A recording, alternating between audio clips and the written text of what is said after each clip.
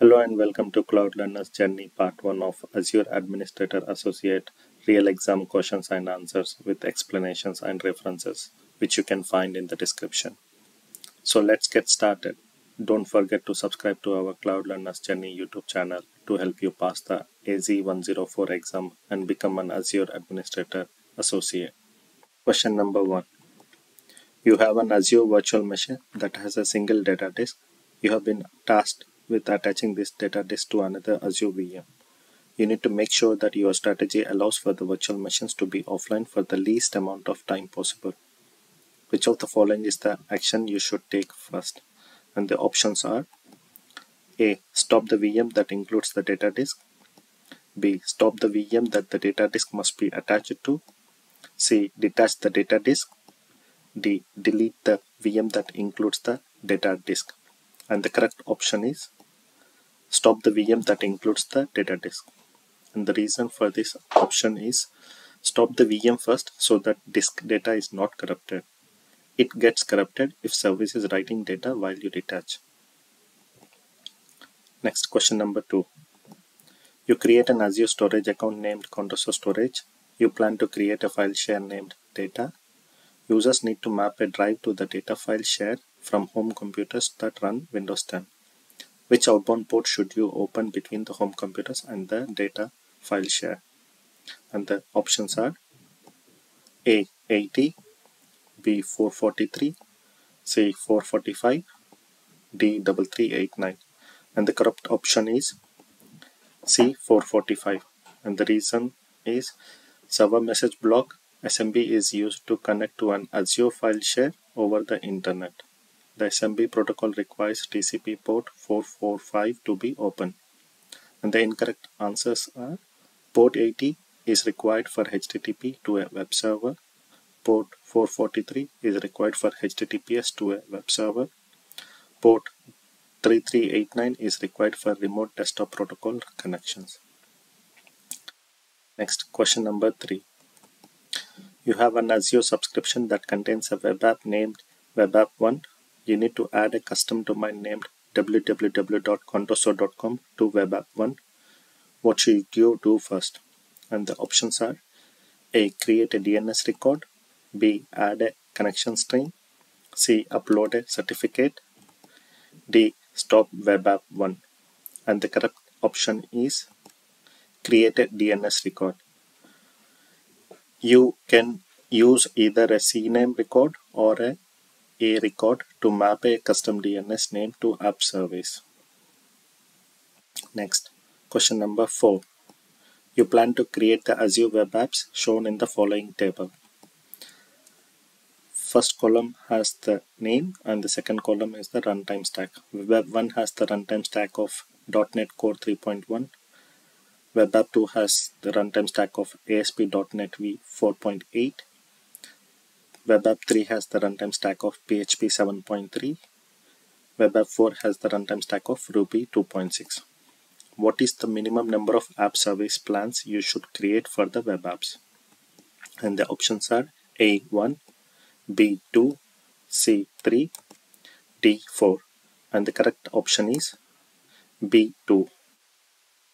And the reason is .NET Core supports Windows and Linux, ASP.NET supports Windows only, PHP supports Windows and Linux, Ruby Linux only.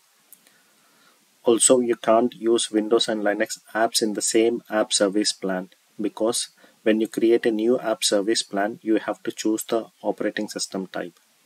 You can't mix Windows and Linux apps in the same app service plan, so you need two app service plans. Next, question number 5 you have an Azure subscription, you have 100 Azure virtual machines, you need to quickly identify underutilized virtual machines that can have their service tier changed to a less expensive offering. Which blade should you use? The options are A. Monitor B. Advisor C. Metrics D. Customer Insights and the correct option is B. Advisor. Advisor helps you optimize and reduce your overall Azure spend by identifying idle and underutilized resources. you can get cost recommendations from the cost tab on the advisor dashboard. Next question number six. You have the Azure resources shown on the following exhibit. It has a tenant root group, management group, subscription, resource group, and the virtual machine. You plan to track resource usage and prevent the deletion of resources. To which resources can you apply locks and tags? Here is like the answers.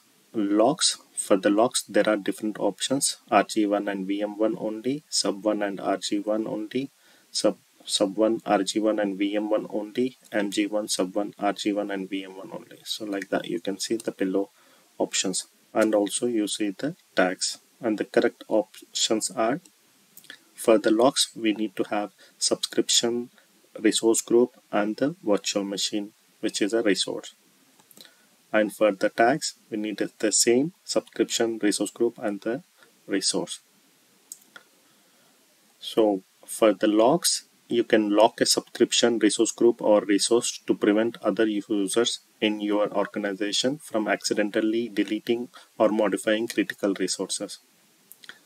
For the tags, you apply tags your resources, resource groups and subscription. Question number 7. Your company has several departments. Each department has a number of virtual machines. The company has an Azure subscription that contains a resource group named RG1 all VMs are located in RG1. You want to associate each VM with its respective department. What should you do? The options are create Azure management groups for each department, B, create a resource group for each department, C, assign tags to the virtual machines, D, modify the settings of the virtual machines. And the correct option is C, assign tags to the virtual machines. And the reason is Tags are metadata elements that you apply to your Azure resources. They are key value pairs that help you identify resources based on settings that are relevant to your organization.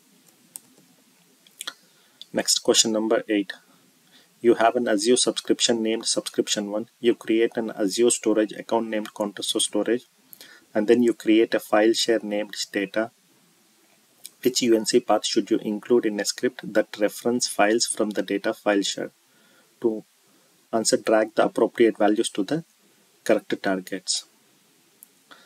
And here the bottom you see the values and also the answer area. So the correct options are Contoso storage, filecore.windows.net and the data. First we have to select the name of the account so the name of the account here is the storage. So which means uh, we have to use the name uh, which is a Contoso storage. And then we are creating a file. Here we are considering as a file so it it would be file.core.windows.net and which has the name data. So at the end you will see the data.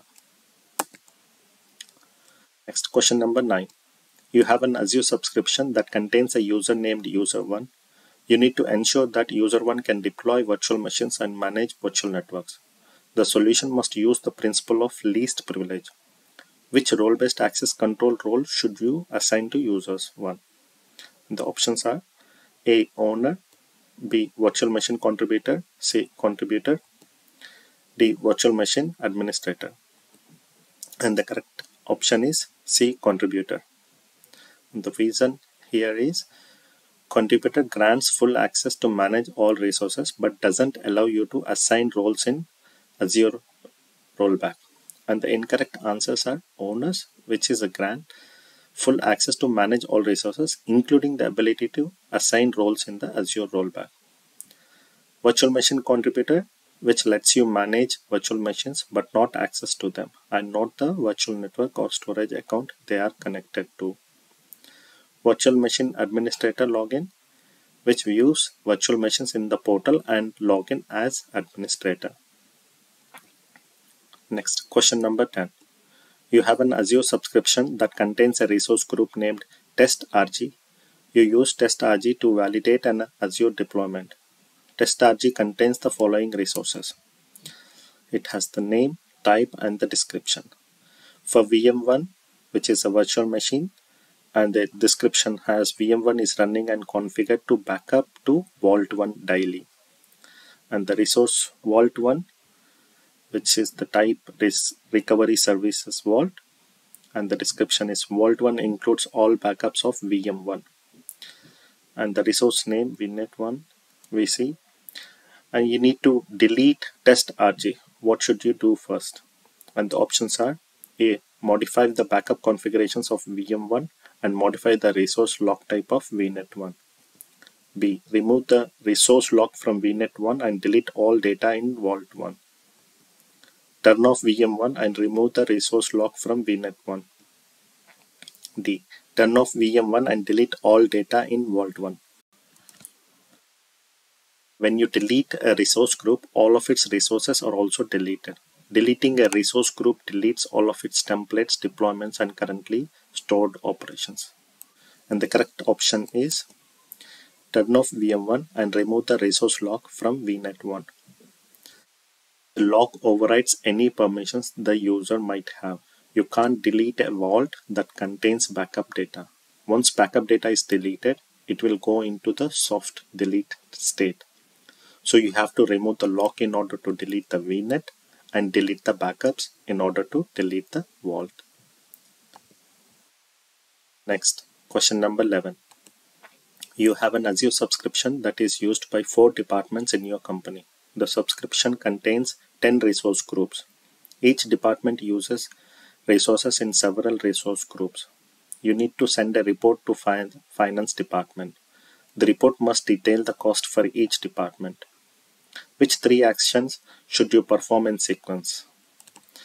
Here the actions are assign a tag to each resource group, assign a tag to each resource, download the usage report from the cost analysis blade, filter the view by tag, open the resource cost blade of each resource group, and the correct answers are assign a tag to each resource is from the cost analysis blade, filter the view by tag.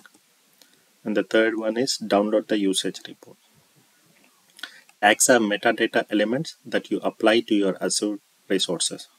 They are key value pairs that help you identify resources based on settings that are relevant to your organization. Resource tag supports all cost incurred services. Next question number 12 you have an Azure subscription named Subscription 1 and an on-premises deployment of Microsoft System Center Service Manager. Subscription 1 contains a virtual machine named VM1. You need to ensure that an alert is set in Service Manager when the amount of available memory on VM1 is below 10%. What should you do first? And the options are create an automation runbook, B. Deploy a function app, deploy the IT service management con connector, the create a notification. And the correct option is deploy the IT service management connector, IT, which is an ITSM. So the reason is the ITSM connector uh, allows you to connect Azure and a supported IT service management, which is a product or a service, such as the Microsoft System Center Service Manager. With ITSMC, you can create work items in ITSM tool based on your Azure alerts, which can be um, metric alerts, activity log alerts, and log analytics alerts. Next, question number 13. You have an Azure Active Directory tenant named Adatum and an Azure subscription named Subscription 1. Adatum contains a group named Developers. Subscription 1 contains a resource group named Dev. You need to provide the developers group with the ability to create Azure Logic apps in the Dev resource group. And the solution here is on subscription 1, you assign the Logic app operator role to the developers group. Does this meet the goal? And the options are A, yes, B, no. And the correct option is B. No. You would need the Logic App contributor role. Here logic app operator lets you read, enable and disable logic apps but not edit or update them whereas logic app contributor lets you create and manage logic apps. Next question number 14. You have an Azure subscription named sub1 that contains the Azure resources shown in the following table. It has the name, resource name and the type RG1, storage 1 and the VNet 1 you assign an Azure policy that has the following settings. So it has the scope, which is uh, on sub one. Exclusion is like a subscription, RG1 and the VNet one. Policy definition, which is append a tag and its value to resources. Policy enforcement is an, an is enabled. The tag name is tag 4 and the tag value is the value 4. You assign the tag to the resources as shown in the following table it has the resource and the tag. For the sub 1, the tag 1 subscription, RG1 tag 2 IT, storage 1 tag 3 value 1, VNet 1 tag 3 value 2. For each of the following statements, select yes if the statement is true, otherwise select no. So for the statement RG1 has the tag 2, IT tag assigned only. And the answer is yes. RG1 already exists. Policies cannot be applied to already created resources. If they would also need to apply, then remediation task is must. Next, storage 1 has the tag 1, subscription, tag 2, IT, tag 3 value 1 and tag 4 value 4 tags assigned. And the answer is no. Tags applied to the resource group or subscription are, are not inherited by the resources, although you can enable inheritance with Azure policy. So the storage 1 has tag 3 value 1 and the Azure policy will add tag 4. Next, VNet 1 has the tag 2 IT and tag 3 value 2 tags assigned only. And the answer is no tags applied to the resource group or subscription are not inherited by the resources. So VNet 1 doesn't have tag 2. VNet 1 has tag 3 value 2. VNet 1 is excluded from the Azure policy. So tag 4 will not be added to VNet 1. Next, question number 15. You have three offices and the Azure subscription that contains an Azure Active Directory tenant. You need to grant user management permissions to a local administrator in each office. What should you do? And the correct and the options are Azure AD roles, administrative units, access packages in Azure AD entitlement management, the Azure resources. And the correct option is B administrative units. So administrative units restrict permissions in a role to any portion of your organization that you define. For example, use administrative units to delegate the help desk administrator role to regional support specialists so they can manage users only in the region that they support. So here we end with part 1. Thank you for watching part 1 of Azure Administrator Associate Real Exam Questions and Answers. We hope you found it informative and helpful. If you liked the video, please like, share and subscribe to our channel for more related topics. We look forward to continuing the journey with you in next videos. Thank you.